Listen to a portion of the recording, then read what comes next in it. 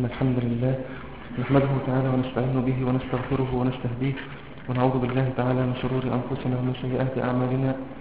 إنه من يهده الله تعالى فلا مضل له ومن يضلل فلا هادي له. وأشهد أن لا إله إلا الله وحده لا شريك له. وأشهد أن محمدا عبده ورسوله صلى الله عليه وعلى آله وأصحابه والتابعين ومن تبعهم بإحسان إلى يوم الدين. ثم أما بعد كنا نتحدث في المجلس السابق عن صور نصرة النبي صلى الله عليه وسلم وذكرنا منها نصرته بالنفس ونصرته بالمال ونصرته بالجاه وتوقفنا عند النوع الرابع من أنواع النصرة وهي نصرته باللسان صلوات الله وسلامه عليه. ولا يخفى على أحد أن نصرة دين النبي صلى الله عليه وسلم ونصرة شريعته عليه الصلاة والسلام هي من نصرته بل هي لباب نصرته صلى الله عليه وسلم. فنصرة النبي صلى الله عليه وسلم باللسان أيسر من نصرته بالنفس ومن نصرته بالجاه ومن نصرته بالمال لأنها متوفرة لأغلب الناس. فما من إنسان إلا ويمكن في موقف من المواقف وحال من الأحوال ومكان من الأمكنة أن ينصر النبي صلى الله عليه وسلم بلسانه. والنبي صلى الله عليه وسلم هو القائل من رأى منكم منكرا فليغيره بيده فإن لم يستطع فإيه؟ فبلسانه. فجعل استطاعة الإنسان بتغيير المنكر بلسانه أوسع وأرحب من استطاعته بتغيير المنكر بيده ومن لم يستطع فبقلبه وذلك أضعف الإيه؟ الإيمان وفي صحيح مسلم أيضا من حديث ابن مسعود رضي الله عنه أن النبي صلى الله عليه وسلم قال ما من نبي بعثه الله إلا كان له من أمته حواريون وأصحاب يأخذون بسنته ويقتدون بأمره ثم إنه يخلف من بعد ذلك خلوف يقولون ما لا يفعلون ويفعلون ما لا يؤمرون فمن جاهدهم بيده فهو مؤمن ومن جاهدهم بلسانه فهو مؤمن ومن جاهدهم بقلبه فهو مؤمن وليس وراء ذلك من الإيمان حبة خردل. فقد يعجز كثير من الناس عن نصرة دين الله عز وجل ونصرة نبي الله تبارك وتعالى وعلى النبي صلى الله عليه وسلم. يعجز عن نصرة ذلك بيده في كثير من الأحوال. ولكنه يستطيع في كثير أيضا من الأحوال أن ينصره بلسانه والدعوة إلى دين النبي صلى الله عليه وسلم وبذل النصيحة والدعوة إلى سنته وهدي صلوات الله والسلام عليه من أرحب مجالات نصرة النبي صلى الله عليه وسلم حيا وميتا عليه الصلاة والسلام. والمسلمون إن كانوا يفقهون عن الله تبارك وتعالى في كتابه ويعقلون عن النبي صلى الله عليه وسلم في سنته يعلمون ويوقنون أنه لا يمكن بحال من الأحوال أن تنفك أمة الإسلام عن نوع من أنواع الجهاد في سبيل الله تبارك وتعالى.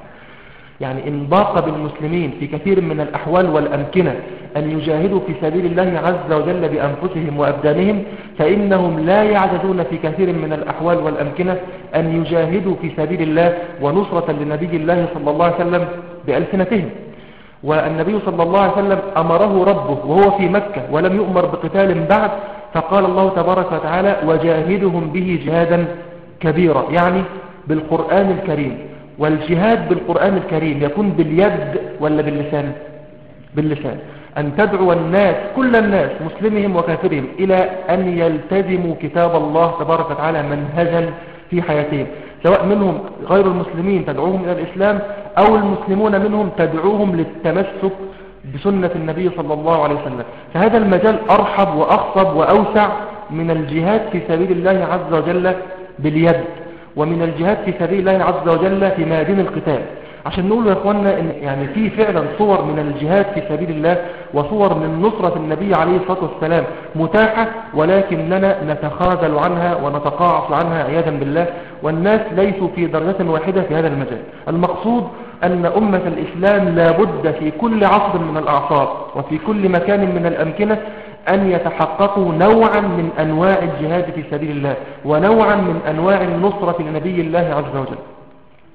النوع الرابع اللي نتكلم عنه النهاردة إن شاء الله تبارك وتعالى هو نصرة النبي صلى الله عليه وسلم باللسان. كيف تكون؟ يعني أن يكون اللسان في خاصة نفسك لا تنطق به إلا ما ينفعك عند ربك تبارك وتعالى حتى وإن خلوت. هذه نصرة ونشرة لدين الله تبارك وتعالى. أنت تنشر دين الله عز وجل في الأرض بحسناتك التي تفعلها في ذاتك وبحسناتك التي تفعلها مع غيرك بلسانك. لو فرضنا إن واحد قاعد في بيته ومغلق عليه بابه. ممكن يحرك لسانه بما يغضب الله وممكن يحركه بما يرضي الله عز وجل. ممكن يتلو القرآن وممكن يعني يترنم بمزامير الشيطان. ولا مش ممكن؟ ممكن. هذا فعل وهذا فعل. يعني التحريك اللسان حتى ولو في خاصة نفسك بما يرضي الله عز وجل هذه نصرة لدينك. وأما إن كنت مع الناس فتحركه دعوة إلى دين الله وبذلا بالنصيحة للمسلمين وغير المسلمين وبذلا للتوجيه والإرشاد إلى الحق الذي يحبه ربنا تبارك وتعالى هذا من أنواع النصرة لدين الله عز وجل ولنبيه صلوات الله وسلامه عليه. لو رجعنا يا جماعة مثلا للموقف اللي كان فيه النبي صلى الله عليه وسلم وأصحابه في مكة كانوا مستضعفين كانوا مستضعفين وكان كثير منهم لا يستطيع أن يجهر بكلمة التوحيد. وكان كثير منهم يخفي إيمانه حتى إن الله عز وجل أنزل يوم صلح الحديبية ولولا رجال مؤمنون ونساء مؤمنات لم تعلموهم أن تطؤوهم فتصيبكم منهم معرة بغير علم. ليدخل الله في رحمته من يشاء. لو تزيلوا لعذبنا الذين كفروا منهم عذابا أليما. يبقى معنى الآية إن لولا وجود أناس من المؤمنين نساء ورجالا في مكة لا يعلمهم المسلمون فإن سلط الله عز وجل المؤمنين من أصحاب النبي صلى الله عليه وسلم على أهل مكة لقتل هؤلاء الذين يخفون إسلامهم ويسرون إيمانهم. قتلوا ولا يعلم القاتلون لهم أنهم مسلمين. يبقى إيه، في ناس لغاية سنة ستة من الهجرة هو كانوا قاعدين في مكة ومستخفين بإيه؟ بدينهم. لا يستطيعون أن يعلنوا بدينهم ولا أن يجهروا بكلمة التوحيد. كان المشركين بيظنون منهم. الكلام ده معناه إيه؟ إن الوضع في مكة وحتى بعد الهجرة هجرة النبي صلى الله عليه وسلم إلى أن فتحت مكة كان الجو فيها بالنسبة للمؤمن. جو استضعاف ولا تمكين؟ استضعاف. هل هذا كان حجة للمؤمنين والمسلمين في ترك نصرة دين الله وترك نصرة النبي صلى الله عليه وسلم؟ لا. نذكر أمثلة. يعني مثلا كلنا يعلم قصة إسلام أبي ذر الغفاري رضي الله عنه وأرضاه. وقد رواه الإمام مسلم في صحيحه بطولها. وهي قصة طويلة ومليئة ومليئة بالفوائد. نجتزئ منها أن أبا عشان الوقت يعني بس أن أبا ذر رضي الله عنه لما وصل إلى النبي صلى الله عليه وسلم وأسلم وآمن النبي صلى الله عليه وسلم أمره أن يرجع إلى قومه وأن يدعوهم إلى الله وأن يظل على ذلك حتى يأتيه أمر منه صلى الله عليه وسلم. وأخبره عليه الصلاة والسلام أنه سيهاجر إلى يسرب فإن هاجر يلحقه هناك. يعني النبي صلى الله عليه وسلم رفع عنه إيه؟ كل المسؤوليات في مكة. يعني أنت دورك ان أنت ممكن تعمله أن تدعو قومك إلى الإسلام. قبيلة غفار. خارج مكة الكلام ده. تمام؟ هل رضي أبو ذر؟ قال والذي نفسي بيده لا أخرج منها حتى اصرخ بها بين ظهرانيهم. يعني يقسم بالله العظيم أنه لا يخرج من مكة حتى يقف في جوف الكعبة أو في جوف البيت الحرام ويصرف بكلمة التوحيد وأهل مكة قد جلسوا في نواديه. وبالفعل أصبح عليه يا جماعة الكلام ده عمله بعد ما قعد شهر كامل بغير طعام. لا ليس له طعام إلا ماء زمزم. حتى تكثرت عليه عكن بطنه. ولم يجد سخفة الجوع على كبده. وهذه كرامة لأبي ذر ومعجزة لماء زمزم قعد شهر كامل على ما قابل النبي صلى الله عليه وسلم ملوش أكل إلا إلا ماء زمزم وبرضه ما ننساش عشان نعرف إن أبو ذر ما عملش كده تهورا. لا ده بيعمل كده. وعارف إيه نتيجة فعله دوت؟ لأنه أول ما وصل مكة يقول استضعفت رجلا من أهلها يعني إيه استضعف؟ يعني نقى واحد منهم شكله هفية شكله ضعيف يعني. عشان إيه؟ عشان ما يضرهوش. لأن لو اختار واحد من الكبراء وسألوا عن النبي صلى الله عليه وسلم وهم قد عادوه وأظهروا العداوة أول حاجة يعملها إيه؟ هيبطش بيه. فيقول فاستضعفت رجلا منهم فقل فسألته عن هذا الذي يدعونه الصادق. يعني كمان سماه إيه؟ سمى النبي إيه؟ صادق. ومع ذلك لم ينجو. يقول فأشار إلي الرجل وقال هذا الصابئ وهذا الصابئ. شاور على أبو ذر وأكن بيقول إيه؟ ده كمان صادق وبيسأل عن مين؟ عن الصادق يقول فاجتمع علي أهل الوادي فألقوني وضربوني من بين حجر ومدر وعظم. اللي كده عظم حدث حدثه واللي في إيده حجر حدفه يقول فما تركوني إلا وأنا كالنصب الأحمر. عارفين النصب يا جماعة؟ الحجرة اللي أهل الجاهلية كانوا بيذبحوا عليها الذبائح لآلهتهم. الحجرة دي بيندبح عليها يكون لونها إيه؟ أحمر. تركوه كالنصب يعني كل جسمه دم. يقول فلما يعني أفقت أغشي عليه طبعا من الضرب. فلما أفاق ذهب إلى بئر زمزم وغسل عن نفسه الدم وشرب من مائه وظل على هذا الحال شهرا حتى لقي النبي صلى الله عليه وسلم. يبقى لما يقول للنبي والذي نفسي بيده لا أخرج منها حتى أصرخ بها بين ظهرانيه. يبقى عارف اللي يحصل ولا مش عارف؟ عارف. وفعلا قال يا أهل مكة أشهد أن لا إله إلا الله وأشهد أن محمدا رسول الله. وما نقموا منهم إلا إيه؟ أن يؤمنوا بالله العزيز الحميد. فاجتمع عليه أهل مكة ما بين ضارب وملق بالحجر أو, أو بالعوض يقول فما خلصني منهم إلا العباس. العباس عم النبي صلى الله عليه وسلم وكان على دين قومه في ذلك الوقت. فأكب علي وقال ويلكم أما تعلمون أنه من غفار وإنما مر تجارتكم إلى الشام عليه. يعني هم رايحين الشام بيمروا على إيه؟ على قبيلته. فأنتوا لو عاوزين تقعدوا تتجروا للشام يبقى إيه؟ هو تقتلوه فتركوه. يبقى كده بعد ما انضرب علقة تمام نجا بفضل الله عز وجل ثم بفضل العباس. سكت. كرر الموقف ده اختصارا للكلام كرر الموقف ده ثلاث مرات. كل مرة يخلصوا مين؟ العباس. وده دور في نصرة دين الله عز وجل ونشره والإعلان به ودور أيضا في نصرة دين النبي صلى الله عليه وسلم. بس اللي أهم من كده يا جماعة وأنفع من كده إنه لما رجع لأخوه وأمه أن أخوه وأمه بحاضرة مكة على أطراف مكة لأن كان خرج من مكة من, من, من قبيلة غفار قبل الموضوع ده بفترة ونزل على خاله. القصة يعني بطولة يمكن معظمنا عارفها في صحيح مسلم. المقصود الآن أنه رجع لإيه؟ لأمه والأخوه اللي كانوا في حاضرة مكة. فقال أخوه أنيس لأبي ذر قال أنيس لأخيه أبي ذر ما صنعت؟ قال صنعت أني أسلمت وآمنت بالنبي محمد صلى الله عليه وسلم. فقال كديني دينك. ثم ذهب إلى أمهما فقالت ديني دينكما. يبقى كده يدخل كم واحد في الإسلام؟ اثنين سكتوا واخدين نفسهم والإبل بتاعتهم وراحوا رايحين على إيه؟ على قبيلتهم. ثم دعا قبيلته إلى الإسلام فأسلم نصفها. نصف القبيلة أسلم على إيد أبو ذر رضي الله عنه. والنصف الآخر قالوا إن هاجر النبي صلى الله عليه وسلم أسلمنا. يعني هنستنى لغاية ما النبي صلى الله عليه وسلم يهاجر لل... هو كان وعد النبي إنه هيهاجر للايه للمدينة. هو سماها في الحديث يثرب لأن كان لسه ما هاجرش صلى الله عليه وسلم.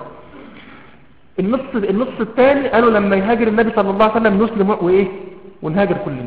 وفعلا لما هاجر النبي صلى الله عليه وسلم ذهبت قبيلة غفار عن بكرة أبيها وبايعوا النبي صلى الله عليه وسلم. في ميزان مين الكلام ده؟ في ميزان أبي ذر الغفاري في أي مرحلة؟ مرحلة الاستضعاف في مكة مش مرحلة تمكين دي يا اخوانا يعني الواحد كده لو, لو انطلق بدين الله عز وجل داعيا إليه بالتي يحسن ووجه لم يواجه عورض لم يعارض بما يستطيع بس يبذل اللي إيه اللي يستطيعه. نصرة دي ولا مش نصرة؟ نصرة. في وقت استضعاف ولا تمكين؟ يبقى إحنا ما لناش حج في عندنا مجال إحنا للأسف متخاذلين عنه خاصة في الغرب يا جماعة وأمريكا. هذه الدول فيها بعض الآذان المصغية للإسلام اللي عرض عليها بشكل جيد. حتى نصارى المشرق بعضهم إلى يومنا هذا لا يكاد يمر فترة قصيرة إلا وتسمع بنصرانين أسلم أو ما إلى ذلك صح؟ يبقى برضو الدعوة إلى الآن لا زالت إن بذلنا فيها ولكننا لا نبذل. إن بذلنا فيها وسعنا ستؤتي ثمارها إن عاجلا أو آجلا. مثل ثالث مشهور جدا الطفيل بن عمرو رضي الله عنه وأرضاه. الطفيل بن عمرو من أهل اليمن من قبيلة دوس جاء إلى, إلى مكة معتمرا. وكان رجلا سيدا شاعرا مطاعا في قومه. فلما ذهب إلى مكة جلس إلى أشرافها فظلوا يحدثوه عن النبي صلى الله عليه وسلم ويكرهونه فيه وينفرونه عنه ويقولون إياك أن تسمع منه فإن حديثه كالسحر وإنا نخشى عليك أن يدخل عليك وعلى قومك مثل ما دخل علينا وعلى قومنا منه فإنه قد فرق بين الإبن وأبيه وبين الأخ, الأخ وأخيه وبين المرء وزوجه. فظلوا معه في هذا الكلام حتى أقسم ألا يسمع منه كلمة. وألا يدخل الكعبة إلا وقد وضع القرص في أذنه. يحط قطن في إيه؟ ودانه. ولكن أبى الله تبارك وتعالى له إلا الخير. ذهب إلى مكة إذا إلى الكعبة يطوف بها معتمر جاء معتمر. جاء معتمر ذهب إلى الكعبة يطوف بها والنبي صلى الله عليه وسلم واقف يصلي. فأبى الله تبارك وتعالى إلا أن تخترق هذه الأقطان الكرسف اللي هو القطن التي وضعها في, في أذنيه تخترق بعض, بعض الكلمات التي نطق بها النبي صلى الله عليه وسلم من القرآن الكريم إلى مسامع الطفيل بن عمرو الدوسي رضي الله عنه وأرضاه. ثم لما سمع كأنه أعجبه فقال ويحك يا طفيل إنك رجل, رجل شاعر عاقل ثبت لا يخفى عليك حسن الكلام من قبيحه يعني أنت إيه اللي بتعمله في نفسك ده؟ شيل القط واسمع كلام الراجل كويس اقبله وحش رده وانت هبل وفعلا كان راجل عاقل ولبيب وشاعر لا يخفى عليه كلام الشعراء من غيره. وفعلا نزع القطن واستمع للنبي صلى الله عليه وسلم وذهب معه إلى بيته فعرض النبي صلى الله عليه وسلم عليه الإسلام وتلا عليه القرآن فأسلم الطفيل مش ده الشاهد يا جماعة لأن النبي كده صلى الله عليه وسلم بينشر دينه وبينشر دعوته لكن الشاهد في موقف الإيه؟ الطفيل. طلب من النبي صلى الله عليه وسلم إنه الإيه؟ لقومه يدعوهم إلى الله وإلى دين محمد صلى الله عليه وسلم. فأجد له النبي صلى الله عليه وسلم فطلب من النبي صلى الله عليه وسلم أن, يجعل أن يدعو الله له أن يجعل له آية. فقال اللهم اجعل له آية تعينه. ذهب الطفيل سافر من مكة إلى اليمن. سفر طويل قرابة الشهر في الطريق. لما أقبل على الثانية التي يهبط منها على قومه سطع بين عينيه نور كمثل الشهاب. الآية اللي النبي دعاله إيه؟ بيها. فقال اللهم في غير وجهي حتى لا يقولوا إنها مثلة من مفارقة ديننا. خاف ما هو جماعة الجاهلية ما استبعدش منهم أي إيه؟ أي حاجة. فخاف إن هم يفكروا إن النور دوت مثلة يعني حاجة كده إيه ربنا عاقبه بيها أو الآلهة بتاعتهم عاقبته بيها لما فرق إيه؟ بينهم. فجعل الله عز وجل هذا النور في طرف صوته. فكان في طرف صوته كالقنديل يضيء للناس. الكرباج بتاعه طرفه عامل زي اللمبة زي المصباح ذهب إلى قومه وبمجرد أن وصل لقيه أبوه وكان رجلا طاعنا في السن. رجل كبير في السن. فقال له إليك عني فلست مني ولست منك. بيقول لمين؟ بيقول لأبوه. إليك عني فلست مني ولست منك. فقال يا بني ولم قال إني قد أسلمت واتبعت محمدا صلى الله عليه وسلم. فقال أبوه لا رغبة بي عن دينك. يعني أنت اللي دخلت فيه أنا كمان إيه؟ أدخل. بركة الصدق والتوكل على الله تبارك وتعالى. ثم ذهب إلى زوجته يعني بدأ بابو الأول. من أحق طبعا. ثم ذهب إلى زوجته إلى امرأتي وقال نفس الكلام. إليك عني فلست مني ولست منك. لما؟ فقال إني قد أسلمت واتبعت دين محمد صلى الله عليه وسلم فأسلمت زوجته. أسلم أهل بيته ثم راست عليه قبيلته. يعني قبيلته إيه؟ أخطأوا في إجابة دعوته بدين الإسلام. فرجع إلى النبي صلى الله عليه وسلم وقال إن دوسا قد أبت تدعو الله على دوس. يقول النبي صلى الله عليه وسلم الذي أرسله ربه رحمة للعالمين. فرفع النبي صلى الله عليه وسلم يديه وقال اللهم اهد دوسا. اللهم إيه؟ اللهم اهد دوسا ثم أمره أن يرجع إليهم وأن يدعوهم وأن يترفق بهم. يعني إيه؟ بالراحة. ترفق بهم. فذهب رجع إليهم وترفق بهم وظل يدعوهم حتى فاتته بدر وأحد والخندق. ثم بعد الخندق أقبل إلى النبي صلى الله عليه وسلم من اليمن من قبيلة دوس ومعه سبعون أو تسعون أهل بيت من دوس قد أسلموا, بالله قد أسلموا لله عز وجل وآمنوا بنبيه صلى الله عليه وسلم سبعين أو تسعين أهل بيت مش تسعين شخص تسعين أسرة أو سبعين أسرة جاءت مع الطفيل بن عمرو رضي الله عنه أسلموا على يديه وجاءوا في خيبر في سنة سبعة من الهجرة هؤلاء كلهم في ميزان من؟ في ميزان الطفيل بن عمرو رضي الله عنه وأرضاه اللي كان منهم مين؟ أبو هريرة. أشهر واحد أسلم مع من قبيل دوس على إيد الطفيل بن عمرو رضي الله عنه هو مين؟ تخيلوا إن أبو هريرة بما يعني له من باع في نشر الدين ونشر السنة يأتي في ميزان الطفيل بن عمرو رضي الله عنه وأرضاه. ده, ده إيه يا جماعة؟ في, في, في أي عهد دوت؟ في مكة. عهد الاستضعاف لغاية دلوقتي لسه مكة لم تفتح بعد. مصعب بن عمير بعد بيعة العقبة الأولى الكلام ده يمكن يجي معنا بعد كده لو اتكلمنا عن الهجرة إن شاء الله بالتفصيل. بعد بيعة العقبة الأولى أرسل النبي صلى الله عليه وسلم مصعب بن عمير عليه رضوان الله أرسله إلى مكة يدعوهم إلى الإسلام ويقرئهم القرآن. فنزل فيهم وكان يدعى المقرئ المقرئ يعني يعني زي تعبرنا دلوقتي العالم يعني. وكان يدعى فيهم المقرئ فظل مصعب بن عمير رضي الله عنه وأرضاه يدعوهم حتى ما بقي بيت من بيوت الأنصار من بيوت أهل المدينة. إلا وفيهم رجل أو امرأة مسلم أو مسلمة. وكان من القصص المشهورة جدا الرائعة جدا قصة إسلام أسيد بن حضير وسعد بن معاذ على يد مصعب بن عمير رضي الله عنه وأرضاه. مصعب بن عمير كان نازلا على أبي أمامة أسعد بن زرارة رضي الله عنه وأرضاه.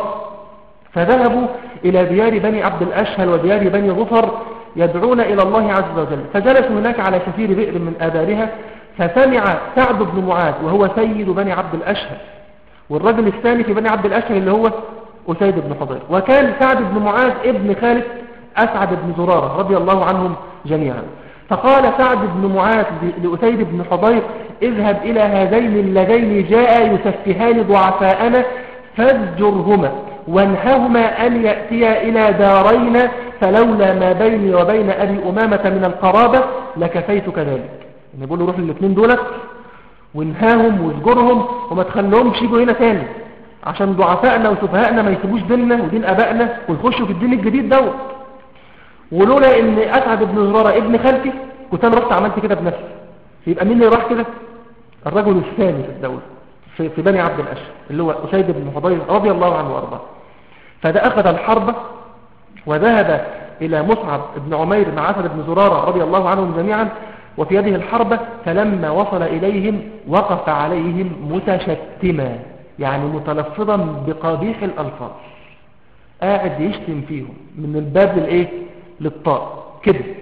ما هو الأقوى ده في في بلده في في في عزوته في بني عبد الأشهر وجايين بدون إذن ومفيش لجوء سياسي ساعتها. فوقف عليهم متشتما وقال لا تأتيا إلى دارنا إن كانت لكما بأنفسكما حاجة. يعني اشتروا إيه؟ اشتروا نفسكم اللي عاوز فيكم حياته ما يقربش ناحيتنا تاني ده معنى الكلام يعني. اللي عاوز فيكم حياته اللي يتهمه حياته ما يقربش عندنا إيه؟ تاني. وكان من ضمن الألفاظ اللي جاءت ثبتت في مغازي موسى بن عقبة عليه رحمة الله أنه قال لأسعد بن زرارة أجئت إلينا بهذا الرعديد الطريد الشريد الرعديد الطريد الشريد الرعديد يعني الجبان دول على مين؟ على مصعب بن عمير رضي الله عنه وأرضاه. كان موقف مصعب يعني كما أدبه القرآن وأدبه النبي صلى الله عليه وسلم في غاية الحكمة. لما وقف عليه متشتما ناطقا بقبيح الألفاظ قال له أو تجلس فتسمع. فإن رضيت أمرا قبلته وإن كرهته كففنا عنك ما تكره. المنطق ده يا جماعة ما يسيبش واحد عنده ذرة عقل إلا وإيه؟ ويخليه يفكر. يقول له كلمة أو يعني في اختيار إيه؟ في اختيار تاني. يعني ده اللي أنت قلته ده كلام على عيني وعلى رأسي ده ده اختيار. بس في اختيار تاني اللي هو إيه؟ اقعد اسمعني. إن قلت حاجة كويسة وقابلتها فبيها, ونعمت. وإن قلت وحش وكلامي ما عجبكش كففت عنك ما تكره فقال قد انصفت وركز. حبته في الأرض وجلس يستمع لمصعب بن عمير. فقرأ عليه القرآن. وكانوا يدعون إلى الله إذا دعوا بماذا؟ بكتاب الله تبارك وتعالى. قرأ عليه آيات من سورة الزخرف. يقولون فوالله لرأينا في وجه أسيد الإسلام قبل أن يتكلم من إشرافه وتهلله وتسهله. قاعد مكشر في الأول ومغضب بعد كده وشه إيه؟ بينفرد شوية بشوية بإيه؟ بينفرد ويبان عليه الانبساط والفرح بما يسمع. فلما انتهى من كلامه مصعب بن عمير رضي الله عنه قال ما أحسن ما تقول.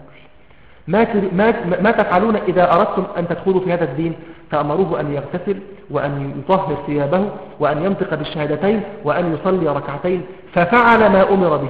ثم قال إن ورائي رجلا لو تبعكما ما تخلف عنه أحد من قومه وسأرسله إليكما. اللي هو مين؟ سيد القوم بقى سعد بن معاذ رضي الله عنه وأرضاه. سعد بن معاذ يا في الأنصار زي أبو بكر الصديق في المهاجرين. رضي الله عنهم إيه جميعا. فذهب أسيد بن حضير وأيضا بحكمة وبعقل قال يعني الناس في نادي قومهم عندما أقبل عليهم أسيد بن حضير نشهد بالله أن اسيدا رجع إليكم بغير الوجه الذي ذهب به عنكم. مش هو ده الوش اللي إيه؟ اللي راح ده, ده إنسان جديد. وفعلا يا جماعة كان إنسان جديد. اتولد ولادة إيه؟ جديدة. خرج من ظلمات الكفر إلى أنوار الإسلام. فقال ما صنعت؟ سعد بيسأله ما صنعت؟ قال خيرا. إني قد نهيتهما. فقال نفعل ما أحببت. يعني كده إيه؟ طمنه. الأول إيه؟ طمنه. يعني اللي أنت عاوزه حصل. وقد سمعت أن بني حارثة قد ذهبوا إلى أبي أمامة اللي هو أسد بن زرارة اللي هو ابن خلف ليقتلوه ليخسروك فيه عشان يحقروك رايحين عشان يقتلوه عشان يصغروك في قومك. فغضب طبعا عارفين بقى واحد سيد قومه في الجاهلية يعمل إيه؟ لو غضب وأخذ ال- ال- الحرب وذهب مسرعا مغضبا فلما رآهما آمنين عرف أن أسيد رضي الله عنه ما أراد إلا أن يسمع منهما كما سمع هو منهم. وقف عليهم فقال له لأبي أمامة والله يا أبا أمامة لولا ما بيني وبينك من القرابة ما رمت مني ذلك. رمت يعني طلبت يعني ما كنتش تقدر تعمل إيه اللي بتعمله دلوقتي. يعني ما فيش حاجة حجزاني عنك إلا أنك ابن خالتي بس. لولا ديت ما كنتش سكت عليك. فقال أبو أمامة لمصعب بن عمير هذا والله سيد قومي. إن يتبعك لا يتخلف عنه أحد من قومك فاصدق الله فيه. بيقول لمين؟ بيقول لمصعب بن عمير. ومصعب بن عمير كان رد لسعد بن معاذ رضي الله عنه نفس الرد اللي إيه؟ اللي عمله مع سعد بن حضير وكان رد سعد بن عليه نفس رد إيه؟ أسيد أسلم وعمل له اغتسل وطهر ثيابه ونفخ الشهادتين وإيه؟ وصلى ركعتين وراح راجع لقومه. وهو اللي جاي ده بقى يا جماعة هو الشاهد في الكلام. راح لقومه. قال يا بني عبد الأشهل ما تعلمون ما تعلمون رأيي فيكم؟ يعني انت إيه رأيكم فيا؟ قالوا سيدنا وأفضل رأ- رأيا وأيمننا نقيبة. النقيبة يعني القيادة. يعني أنت أبرك زعيم قدنا بس ما كانش نفاق كان إيه؟ كان بجد. هو كان فعلا رجل ميمون النقيبة. وكان رجل عاقل وحكيم رضي الله عنه وأرضاه. ما تعلمون شأني فيكم؟ قالوا أفضلنا. قالوا سيدنا وأفضلنا رأيا وأيمننا إيه؟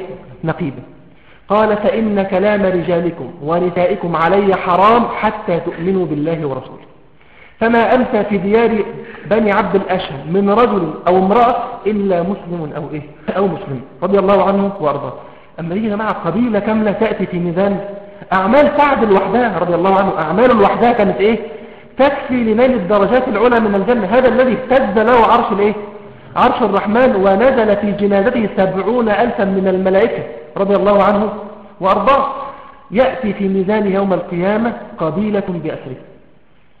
ويأتي سعد نفسه في ميزان مصعب بن عمير رضي الله عنه وأرضاه. كان جماعة دي نصرة لله ولرسول الله صلى الله عليه وسلم والناس بعد مستضعفون. يعني لسه كان ما كانش فيه تمكين للايه للإسلام ولا كان للإسلام لسه ليه دولة أصلا. لكن ناصروا دين الله وناصروا رسول الله صلى الله عليه وسلم بالمتاح بالمتيسر أحسنوا عرض الإسلام على الكفار أحسنوا عرض الإسلام على أعدائهم. فقبل الإسلام عقلاؤهم وهذا يمكن أن يتحقق بنسبة من النسب في كل عصر. يعني لا زلنا نسمع يعني يا جماعة يعني يذكر في الإحصائيات أن المسلمين في بعد أحداث سبتمبر أحداث 11 سبتمبر في أمريكا المسلمين بعد الأحداث دي سنة واحدة فاق عدد المسلمين لمدة 20 سنة في أمريكا. يعني أسلم بسبب قراءة ترجمات الإيه؟ الناس كلها بقى الإرهاب والإسلام الإرهابي ومش عارف إيه. فعاوزين يعرفوا الإسلام. كان أقرب طريقة إنهم يعملوا إيه؟ يقرأوا كتاب الإسلام اللي هو القرآن. فقرأ نفذت ترجمات القرآن بكل اللغات في أمريكا وفي الغرب في هذه الأيام. مع أنها كانت مطبوعة بالإيه بالآلاف ودخل كثير منهم في دين الله عز وجل. بسبب إن هم يعني ناس علمانيين. أصلا ناس يعبدون هواهم وشهواتهم. فإن عرض عليهم الحق بشكل, بشكل مقبول فبعضهم لا نقول كلهم ولا أكثرهم لكن بعضهم يقبل على الإيه؟ على الحق. المقصود أن هذا مثل من مصعب بن عمير رضي الله عنه لنصرة الله ونصرة رسوله صلى الله عليه وسلم بماذا؟ إيه اللي عمله مصعب؟ جاء في الله بالسيف. عمل إيه؟ بلسانه ما عملش حاجة إلا بلسانه مثل ثاني ضمان بن ثعلبة رضي الله عنه وافد بني بني سعد الذي قال عنه ابن عباس رضي الله عنهما ما سمعنا بوافد كان يعني آه، أشد بركة على قومه من ضمام ابن ثعلبة رضي الله عنه وأرضاه. ضمام ابن ثعلبة جاء إلى النبي صلى الله عليه وسلم بعد الهجرة وهو جالس في المسجد مع أصحابه فدخل عقل ناقته على باب المسجد ثم دخل المسجد وقال أين ابن عبد المطلب؟ فقال النبي صلى الله عليه وسلم أنا. قال أنت محمد؟ قال نعم. قال إني سائلك ومغلظ عليك في المسألة. فلا تجدن علي في نفسك فإني لا أجد في نفسي. شوفوا الوضوح دي دي بقى يا جماعة اسمها الشفافية بجد بقى. بقول له أنا هشدد, هشدد عليك في الكلام وهغلظ لك في الكلام ما تزعلش مني لأن أنا كمان ما بزعلش من حد. فإني لا أجد في إيه؟ في نفسي. فقال سل عما بدلك. فقال له أنشدك الله الذي خلقك وخلق, وخلق ما قبلك وخلق ما هو كائن بعدك. آه الله أرسلك. يعني أنت فعلا رسول عند ربنا؟ فقال اللهم نعم. النبي صلى الله عليه وسلم قال اللهم إيه؟ نعم. قال أنشدك بالله إلهك وإله ما قبلك وإله ما هو كائن بعدك. آه الله أمرك أن تنهانا عن عبادة الأوثان وأن نخلع الأنداد التي تعبد من دون الله؟ فقال النبي صلى الله عليه وسلم اللهم نعم. ثم ظل يسأله عن, يسأله عن فرائض الإسلام فرضا فرضا حتى ذكر له الصلاة والصيام والإيه؟ والحج وفرائض الإسلام. فنهاية الكلام فقال أشهد أن لا إله إلا الله وأشهد أن محمدا رسول الله. مش دي برضه الشاهد. الشاهد بعد ما أسلم عمل إيه؟ ما إحنا جمالنا بقى اللي فينا بقى له 20 سنة و30 سنة و60 سنة مسلم. هو دلوقتي أسلم بقى زيه إيه؟ زينا. بس الفرق فيما بعد الإيه؟ فيما بعد الإسلام. رجع إلى قومه وكان وافدهم إلى النبي صلى الله كان وافدهم إلى النبي صلى الله عليه وسلم. رجع إلى قومه. فأول ما تكلم به أن سب اللات والعزى. أول كلمة طلعت من بقه قدامهم أن سب إيه؟ آلهتهم. عاد آلهتهم حتى يطعن في دينهم. فقالوا ما يا ضمان؟ هو اسمه ضمان بن ثعلبة رضي الله عنه. فقالوا ما ما يعني اسكت؟ بالراحة على نفسك. يعني إيه؟ بشوش على نفسك شوية. خاف على نفسك. ما يا ضمان؟ اتق البرص والجنون والجذام يعني يقولوا ما تسكمش الآلهة. أحسن الآلهة تعاقبك بالبرص وبالجنون وبالإيه؟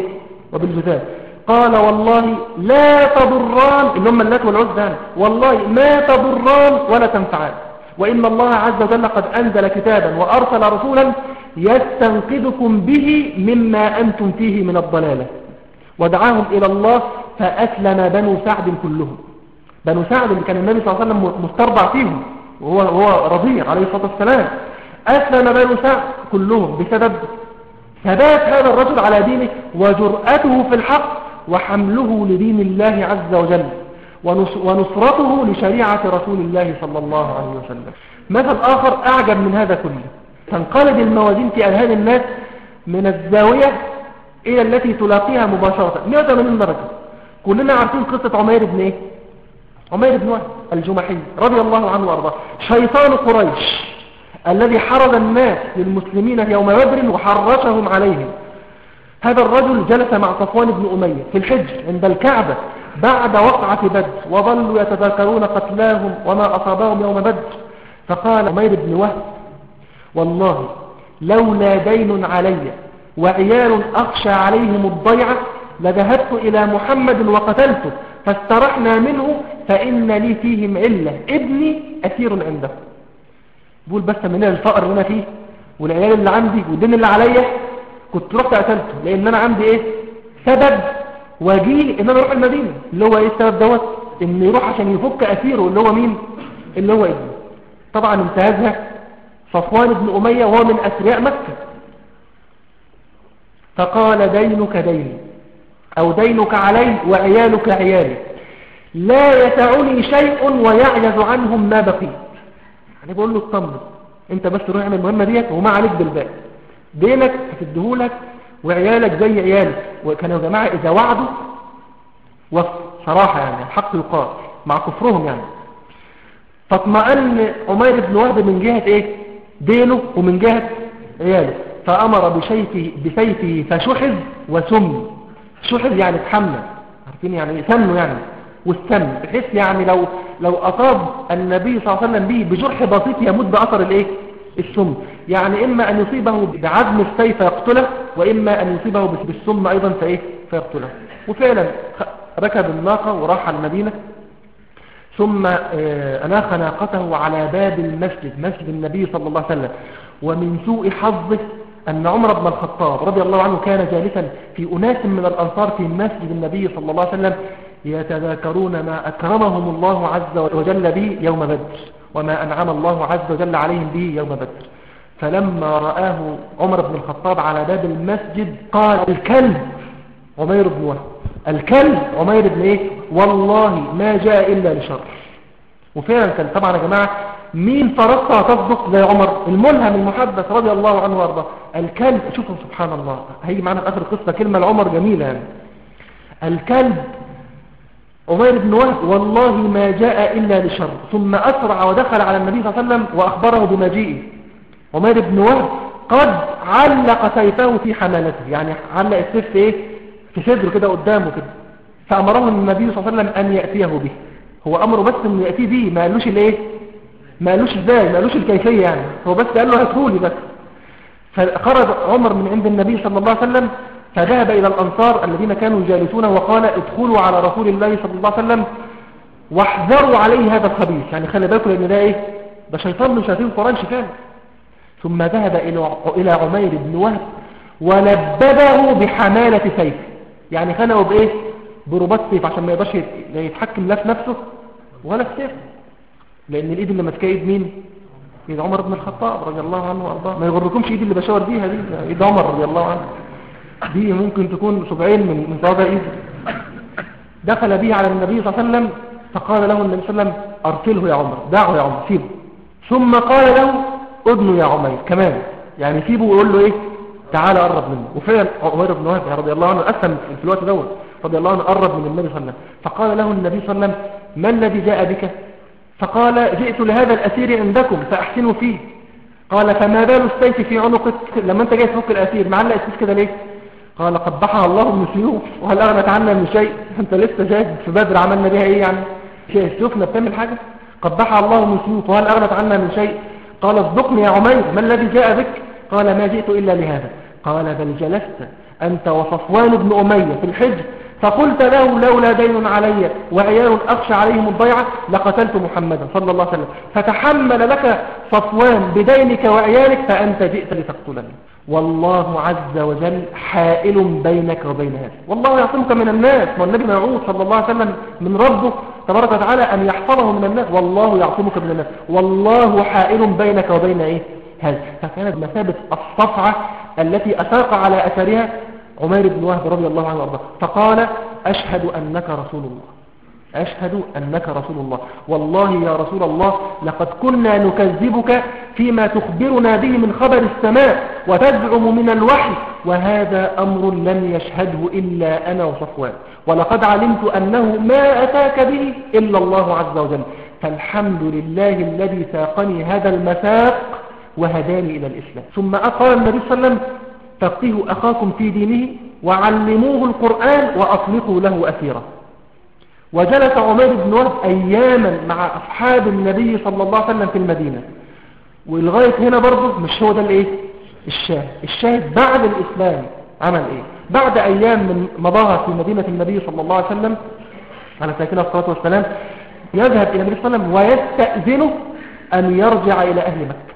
فيدعوهم إلى الله ويدعوهم إلى الإسلام فإن أبوا آذاهم كما يؤذي من أسلم في مكة.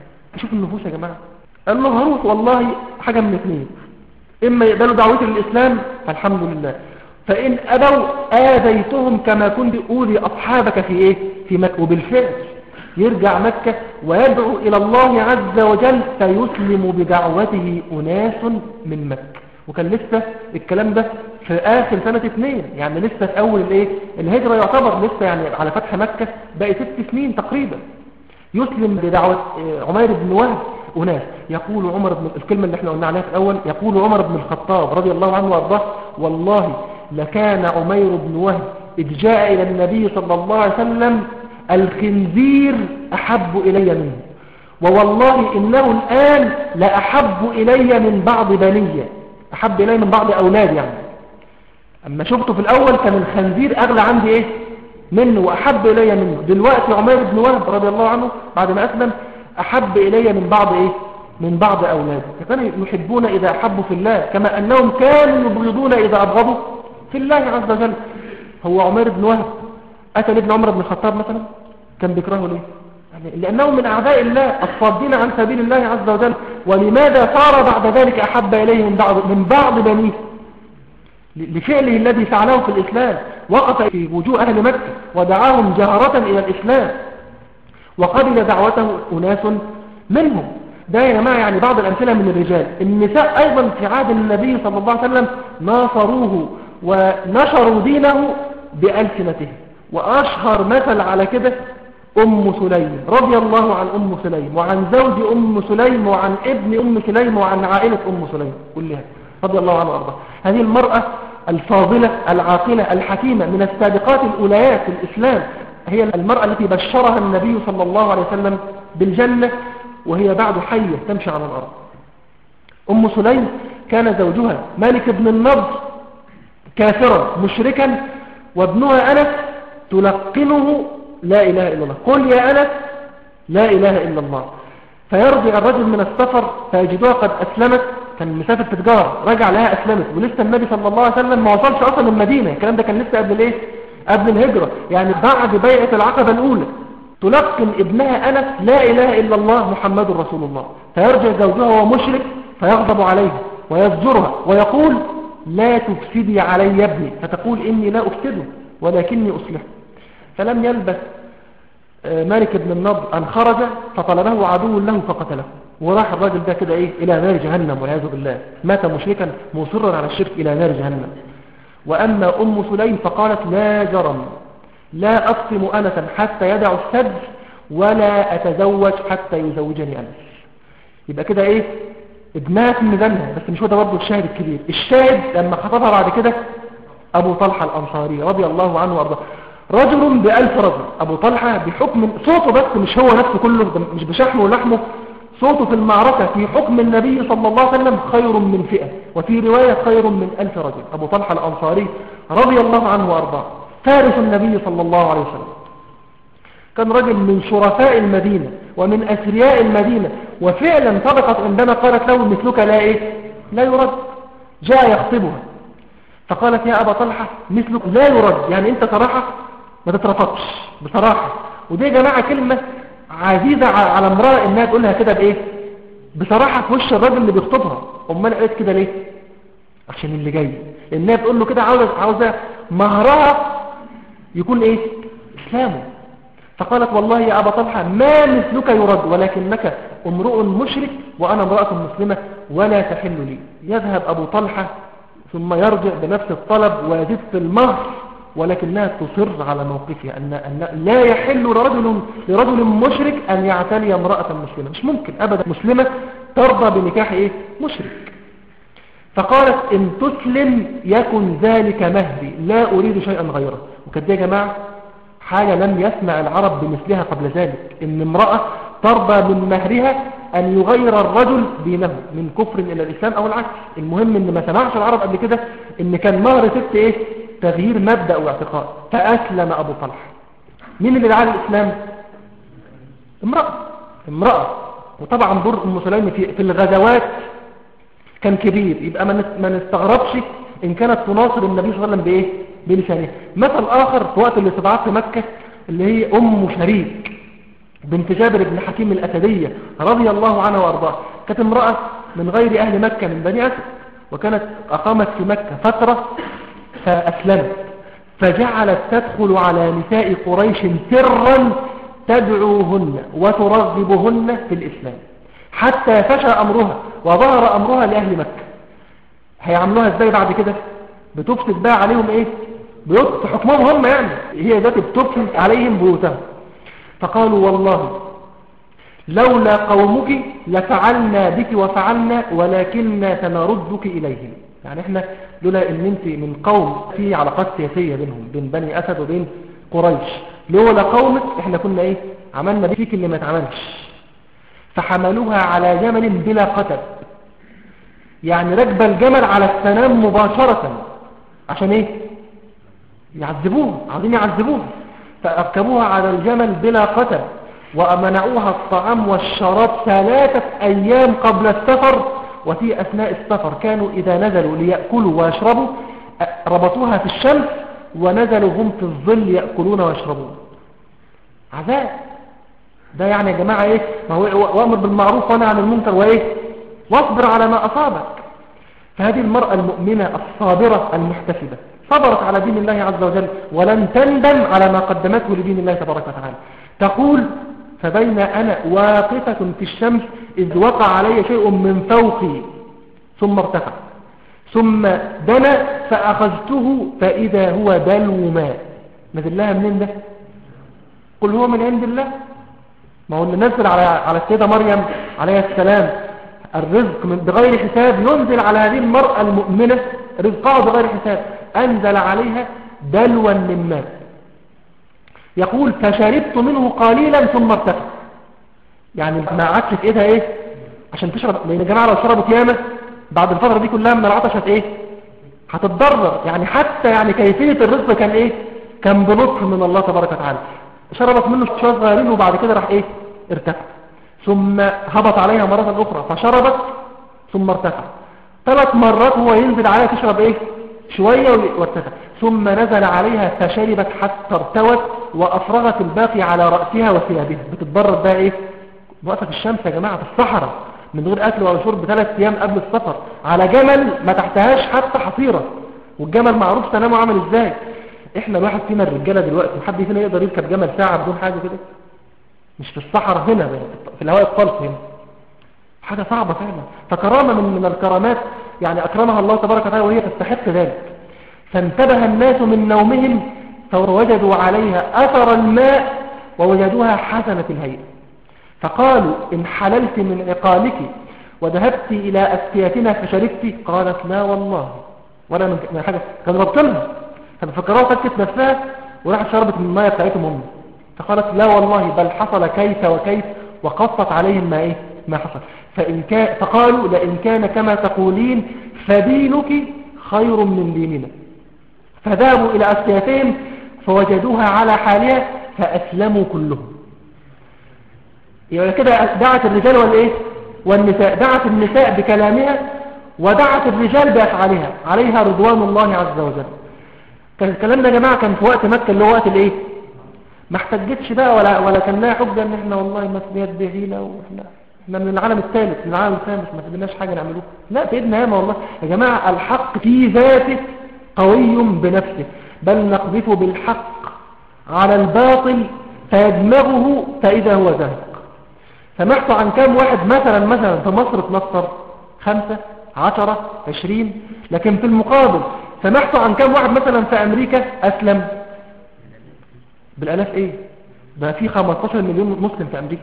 15 مليون مسلم في أمريكا. كانوا فين دول الأول؟ إيه اللي خلاهم يسيبوا المدنية والحضارة والكلام اللي بيقولوه ده؟ الإسلام في ذاته حق فهو يحمل مقوماته في ذاته بل نقذفه بالحق. على الباطل فإيه؟ فيدمغه يعني يصيبه في الدماغ يصيبه في مقصد فيدمغه فإذا هو زهق. ولكم الويل مما تصفون. فيا جماعة الإسلام فعلا في ذاته إيه؟ دين حق. فإحنا لو حملناه لغيرنا حتى ولو كنا مستضعفين برضه هنجني ثمرة. لابد نجني ثمرة. إن الله عز وجل لا يضيع أجر من أحسن إيه؟ عمل بس إحنا اللي ما بنبذلش. عاوز أذكر مثال ثاني مهم جدا. كلنا عارفين يا جماعة اللي مشغول بطلب العلم مثلا أو قراءة الكتب وعنده خبرة بالكتب. لو اتسأل أعظم كتاب على الإطلاق اتألف في تفنيد حجة النصارى وفي الرد على دين النصارى إيه هو؟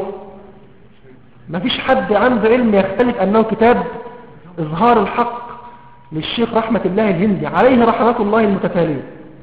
الكتاب ده يا جماعة 1367 صفحة. 1367 صفحة بيتكلم عن خمس مسائل بس. رحمة الله الهندي رحمة الله ابن خليل الرحمن الهندي عليه رحمة الله. الكلام ده يا جماعة كان في القرن الكام؟ في أواخر القرن التسعتاشر. يعني الكلام ده بيننا وبينه 150 سنة ألف كتاب اسمه إظهار الحق. مطبوع دلوقتي في أربع مجلدات مشهورة. مشهور أو كتاب بيقول لك 1367 صفحة. على كم مسألة؟ على خمس مسائل بس. موضوع النسخ وموضوع التحريف. في الكتب المقدسة عندهم في العهدين القديم والجديد. وموضوع إعجاز القرآن وموضوع نبوة النبي صلى الله عليه وسلم وموضوع تأليه المسيح والتثليث الخمس مسائل دول هم الخمس المسائل الأصلية في أي حوار جدي بين مسلم وإيه؟ ونصراني. قال في الكتاب ده يا جماعة عاوزين دلوقتي نعرف قصة تأليف الكتاب.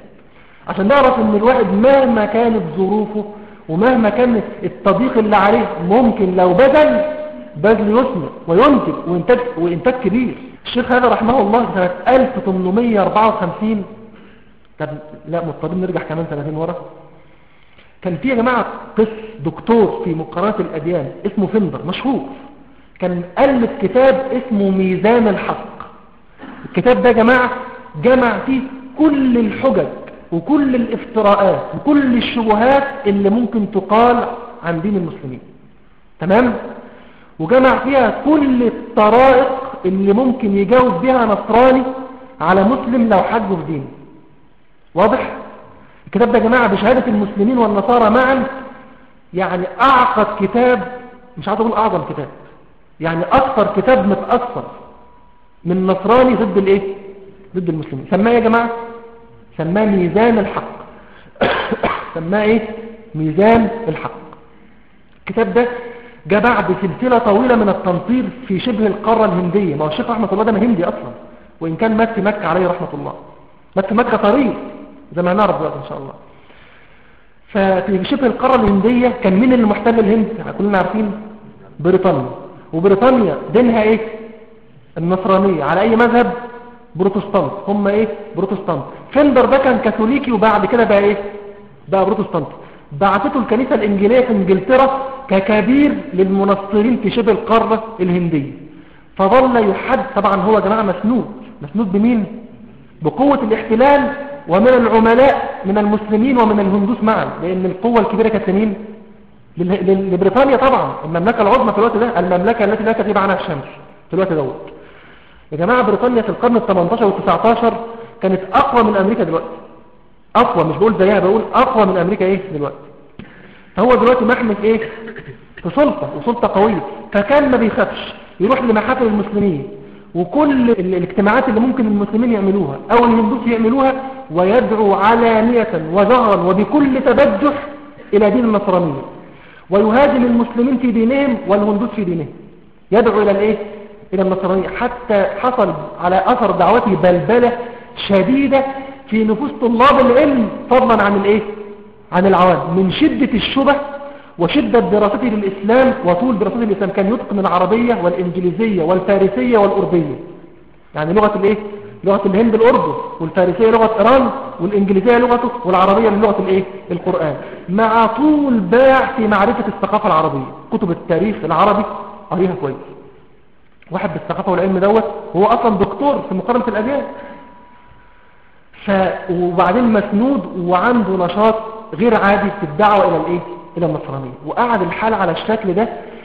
كلل جهوده في الآخر بتأليف كتابه اللي سماه إيه؟ ميزان الحق. والكتاب ده عمل ضجة شديدة جدا جدا جدا في الهند. وكان في كتير من علماء المسلمين في الوقت دوت في الهند ما عرفوش يردوا على الكتاب. لغاية ما المسلمين فعلا خشي عليهم أن يتنصروا. كان في واحد هندوسي أنا مش فاكر اسمه. كان صديق لفندر وصديق لرحمة الله الهندي من إيه؟ من الجهتين. فحاول إيه؟ يطقشهم في بعض. ده كبير علماء المسلمين في الهند وده كبير علماء النصارى في الإيه؟ في الهند. فقبل رحمة الله الهندي ذلك ورحب به ولكنه كان يخشى إن يتهرب منه مين؟ فندر ده لأن دلوقتي بقت الصولة له وبقت الشهرة له وفي نفس الوقت انشهر إن كتابه محدش عارف يرد عليه. فهو كان حريص على إنجاح الإيه؟ اللقاء ده. فقعد يبعث لفندر ده بعت له أكتر من تسع رسائل عشان ينظموا أمر الإيه؟ المناظرة. وتعنت عليه فندر في الشروط اللي, اللي اشترطوها في المناظرة. ومع ذلك قبل وحددوا يوم فعلا 11 رجب. الكلام ده كانت 1867 من الميلاد. 1867 من الميلاد. كانت المناظرة معاتها ستة ونص صباح. عشان إيه؟ عشان محدش كتير يحضر. وقسموا المناظرة على ثلاث أيام. قسموا المناظرة على كام يوم؟ على ثلاث أيام.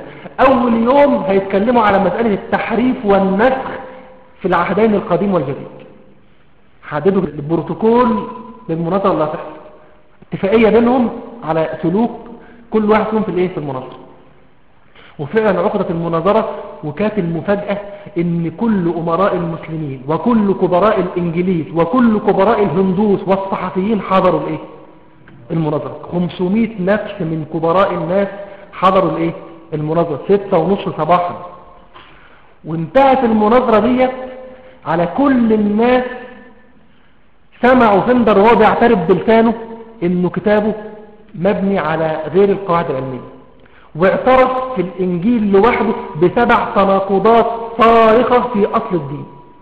واعترف بأربعين ألف خلاف بالنسخ الإنجيل المترجمة. أربعين ألف إيه؟ موضع خلاف لا يمكن الجزم بأي النصين نزل على عيسى. أربعين ألف موضع. ما هو الثاني جماعة رحمة الله الهندي؟ قبل ما يناظر قرأ 32 ترجمة. 32 نسخة مختلفة للعهدين القديم والجديد. بأربع لغات. هو كمان رحمة الله الهندي كان بيتقن أربع لغات على فكرة. العربية والفارسية والأردية والإنجليزية. ورحمة الله الهندي يا جماعة درس النصرانية من أصولها. يعني درس النصرانية من كتبهم هم. مش من كتب المسلمين؟ لا. قرأ 52 كتاب لعلماء النصارى. فضلا عن علماء الإيه؟ المسلمين.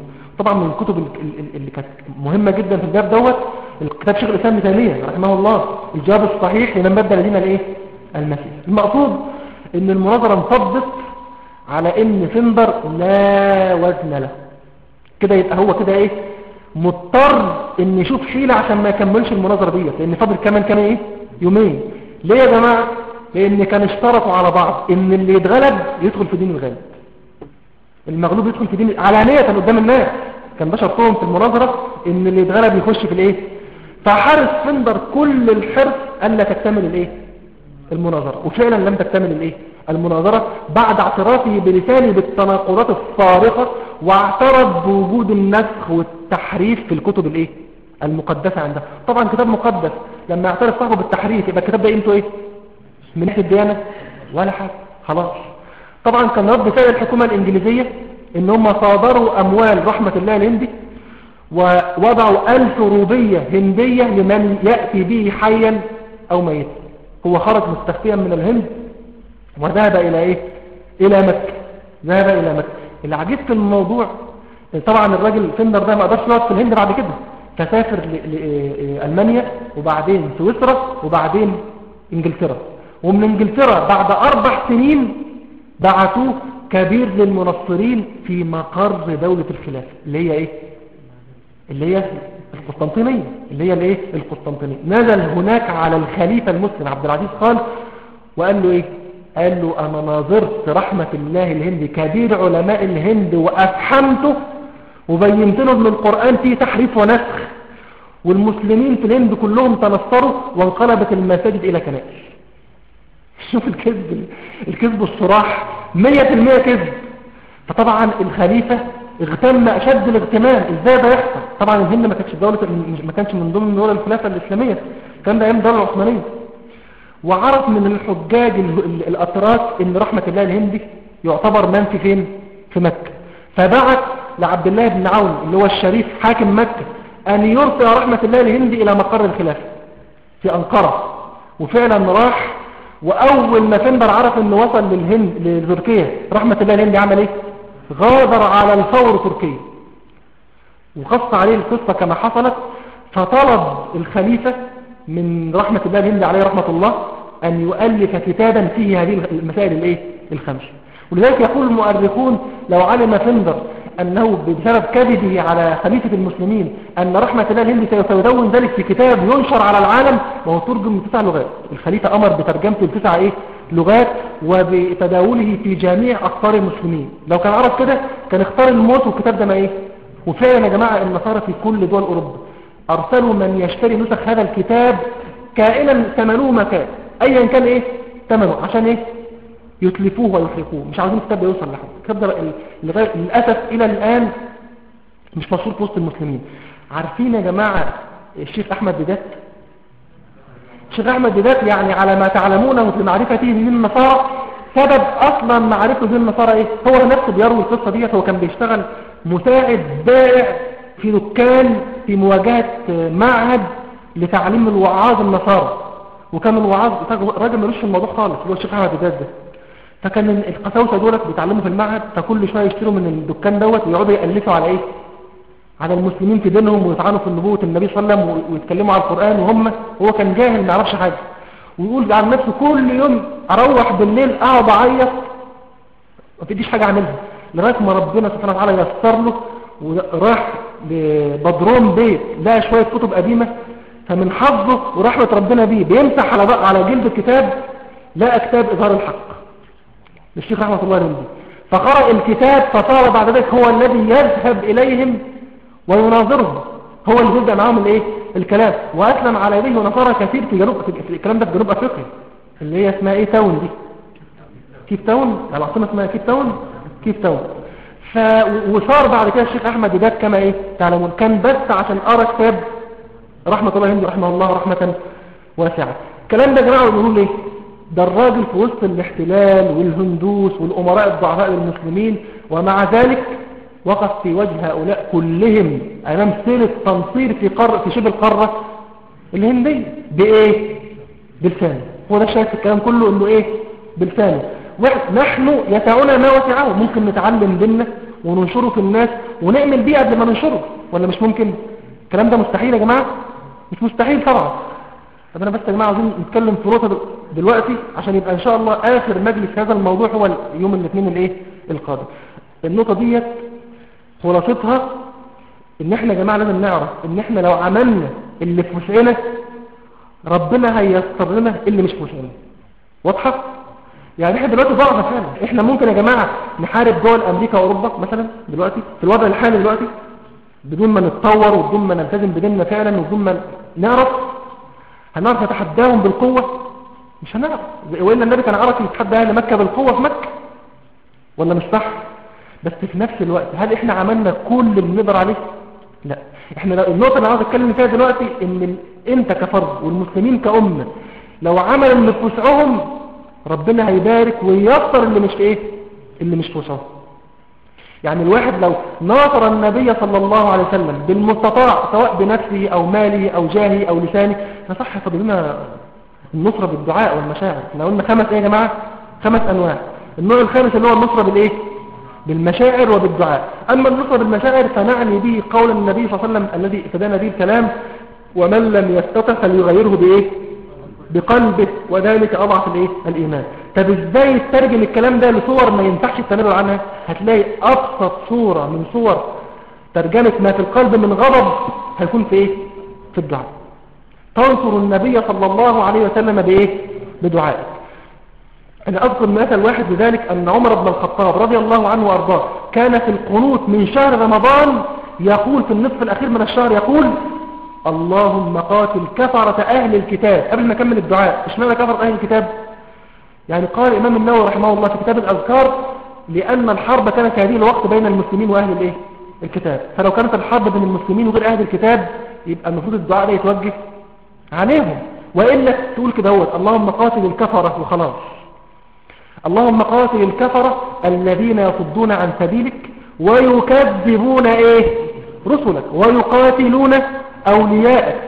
اللهم قاتل الكفرة الذين يصدون عن سبيلك ويكذبون رسلك ويقاتلون أولياءك وخالف بين كلمتهم وألقي في قلوبهم الرب وألقي عليهم رجلك وعذابك إله الإيه؟ إله الحق. كان الكلام ده جماعة منه من عمر رضي الله عنه نصرة من نبي ولدين النبي صلى الله عليه وسلم ولا لأ؟ أنت عارف مجرد إنك تصلي على النبي صلى الله عليه وسلم؟ حتى ولو بينك وبين نفسك هذه والله نصرة للنبي صلى الله عليه وسلم. يبقى في ناس يزدادون من الله بعدا بكفرهم وتكذيبهم واستهزائهم وأناس آخرون يزدادون من الله قربا بصلاتهم وسلامهم على النبي صلى الله عليه وسلم. النهاردة مثلا يا جماعة اليوم اللي انتهى كان يوم الإيه؟ الجمعة. الناس قاعدين يشتموا ويسبوا ويستهزئوا. طب إحنا الواحد فينا صلى على النبي النهاردة يوم الجمعة النبي قال فيه أكثروا فيه من الصلاة إيه؟ عليه. الواحد فينا صلى على النبي كم مرة عليه الصلاة والسلام النهاردة؟ قبل الغروب يعني من, من أو من الفجر للغروب. صلى على النبي كم مرة؟ سؤال محرج. وممكن واحد فينا يسأل نفسه يلاقي صلى 10 20 30 طب في الوقت ده ينفع تصلي على النبي 10 20 30 انت زعلان عليه؟ وبتفتكر ضد ما هم يذكرونه به. ولا ولا مش صح؟ يبقى ده صورة من صور الدعاء للنبي صلى الله عليه وسلم. هم يسبون ويستهزئون ويشتمون ويطعنون وأنت تصلي وتسلم وتبارك وتنعم على النبي صلى الله عليه وسلم. سؤالك للوسيلة للنبي صلى الله عليه وسلم. ده نصرة للنبي صلى الله عليه وسلم ولا لا؟ إذا كانتش في الدنيا تبقى فين؟ اقرأ آتي محمدا صلى الله عليه وسلم. الوسيلة والفضيلة. وضعف اللهم المقام المحمود الذي وعدته. مش دي نصرة للنبي صلى الله عليه وسلم؟ مش دي رفعة درجاته؟ مش هو اللي أمرنا بكده؟ ثم سأل الله لي الإيه؟ الوسيلة. يبقى دي صورة من صور النصرة. الواحد فينا يا جماعة بقى المفروض يتخير الأوقات والأحوال الفاضلة التي يدعو فيها للإسلام بالنصرة وللمسلمين بالتمكين. يختار بقى مثلا في السجود كحال في بين الأذان والإقامة كوقت في الصيام. الناس كانوا عاملين مثلا إيه؟ يوم الخميس اللي فات. كانوا عاملين دعوة عامة والورق بيتوزع على كل الناس. إن تصوم يوم الخميس اللي هو كان يوم عاشوراء. وتدعي عند الإفطار بصيغة معينة. الموضوع طبعا يا جماعة كمبدأ على العين والرأس ومطلوب. مبدأ الصيام بذل الطاعة أكثر في الأيام دي نتقرب إلى الله أكثر وأكثر عشان ربنا يرحمنا. وندعو الله تبارك وتعالى أبرأ وأبرأ عشان ربنا يرحمنا. بس يعني إيه؟ مش لازم الخميس بس. خلاص يعني الدنيا خلصت كده خلاص؟ صمنا الخميس ودعينا وخلاص؟ لا. كل صوم على قد ما إحنا في شهر إيه دلوقتي؟ إن النبي قال أفضل الصيام بعد الفريضة صيام إيه؟ شهر صوم صوم على قد ما تقدر. وادعي على قد ما تقدر. بأي صيغة إيه؟ تحبها أي صيغه تيجي على لسانك أي صيغه فيها المعنى صحيح تسأل الله تبارك وتعالى أن يمكن لدينه في الأرض وأن يظهر كلمته في الأرض وأن يقاتل الكافرين الصادين عن سبيله ويخالف بين كلمتهم ويلقي في قلوبهم الرعب ويلقي عليهم رجته وعذابه ولا الحق. تقول اللهم إنا مغلوبون فانتصر. يعني إيه؟ يعني يا رب ما فيش في إيدنا حاجة. انتصر أنت لنبيك صلى الله عليه وسلم. تدعو الله لما استطعت في أي وقت بدون تكليف لا للصيغة ولا للإيه؟ للوقت. وتدعو الناس لذلك. قول للناس صوموا واسجدوا وصلوا وقولوا وادعوا. ما هو ده يا جماعة سلاح. الدعاء سلاح الإيه؟ المؤمن. وإن شاء الله تعالى إن اتكلمنا عن الهجرة هنقف على درس عظيم من من دروس الهجرة. عند قول الله عز وجل لنبيه في الهجرة وقل ربي أدخلني مدخل صدق وأخرجني مخرج صدق واجعل لي من لدنك سلطانا. إيه؟ نصيرا. ربنا سبحانه وتعالى بيلقن النبي صلى الله عليه وسلم إنه يستنصر بإيه؟ بالدعاء. فالنقطة اللي نتكلم عليها بنقول يا جماعة المسلمين لو بذلوا اللي في ربنا إن شاء الله عز وجل هي إيه؟ هيسر لهم اللي مش في وعشان ما نطولش على حضراتكم نقول الموضوع ده إن شاء الله إيه؟ المرة الجاية مع مع اللي اتبقى من الموضوع. سبحانك اللهم ربنا وبحمدك أشهد أن لا إله إلا أنت نستغفرك ونتوب إليك.